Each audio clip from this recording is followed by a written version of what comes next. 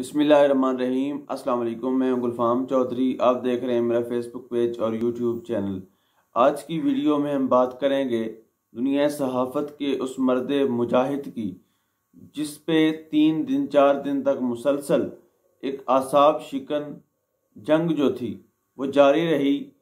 वो उनकी कोशिश आखिरी दम तक यही रही, किसी तरह इस बंदे को तोड़ सकें।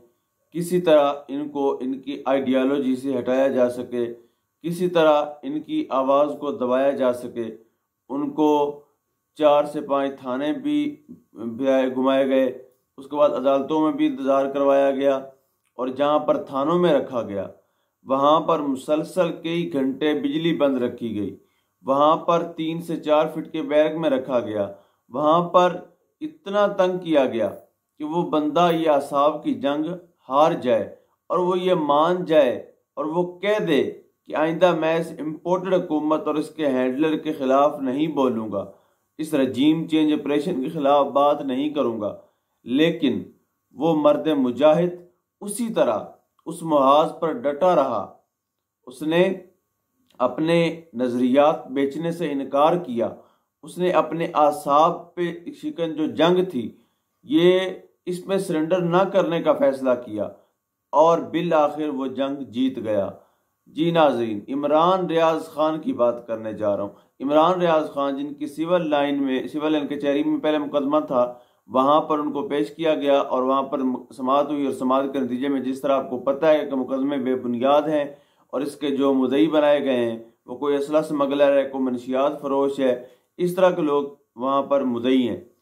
तो वहाँ पर जब केस लगा तो उन्होंने फ़ौरन रिहा कर दिया? वहाँ से फिर हाई कोर्ट लेकर गए। जस्टिस अलीबा के नजफी ने वहाँ पर केस की समात की और जो वकील हैं, मियाँ इशफाक अली, उन्होंने दरख्वास्त दायर की कि एक ही नवैत की बीस एफ़ आई आर कटवाना ये कानूनी तौर पर भी गलत है। सो, नजफी साहब ने फ़िलहाल दस दिन की उनको ज़मानत दी है। दस दिन की ज़मानत के बाद वो दोबारा पेश होंगे कचहरी में। अब दस दिन के बाद दोबारा क्या होता है? क्या उनको दोबारा बाकी शहरों के चक्कर लगवाए जाते हैं या फिर लाहौर हाई कोर्ट उन्हें इंसाफ देती है और वो यहीं पर रुकते हैं। अब बात करेंगे सिद्दीक जान साहब की। एक सिद्दीक जान ने बड़े बड़ों की नींदें आराम की हुई थी। जिसने भी खबर लेनी होती थी। इमरान रियाज खान को चूँकि मीडिया कवरेज नहीं कर रहा था, सिर्फ़ सोशल मीडिया पे चल रहा था और मीडिया पर सिर्फ़ वाई वाले दिखा रहे थे। क्योंकि बाकी मीडिया वाले समझते यही हैं कि शायद वो सोतेले हैं। वो ये भूल जाते हैं कि मीडिया, दुनिया सहाफ़त, इसमें एक दूसरे के ऊपर क्या हक हैं? क्या ये हमारा राइट बनता था कि इस तरह इग्नोर किया जाए? बार सूरत एयरवाई ने रिपोर्ट किया, सिद्दीक जान की वाल पेपर और ट्विटर अकाउंट लोग बार बार देख रहे थे, जिससे हमें लम्हा बलम्हा खबर मिल रही थी। तो यकीनन, सिद्दीक जान हमेशा से अप जुरत के साथ, बहादरी के साथ जवा मर्दी के साथ हर चीज़ की रिपोर्टिंग भी करते हैं और अपना किरदार ऐसा अदा करते हैं कि हर पाकिस्तानी उनको दाद देने पर मजबूर हो जाता है। तो इस वक्त पूरे पाकिस्तानी नेक तमन्नाएँ, दुआएँ सिद्दीक जान के लिए हैं और वो बार बार ट्विटर पे, फेसबुक पे, यूट्यूब पे बता रहे हैं कि सिद्दीक जान ने वाकई दोस्ती का हक अदा कर दिया। आखिर में हम बात करें कि दुनिया सहाफ़त पर एक बार फिर, जो है दुनिया सहाफ़त की आज़ादी पर एक बार फिर हमला हुआ है और समी इब्राहिम साहब पर नामालूम अफराद का तशद हुआ है। पूरी दुनिया जानती है, ये कौन नामालूम है? ये वो नामालूम है जो सबको मालूम है। लेकिन बुजदिलों की तरह छुप कर वार करते हैं, सामने नहीं आते।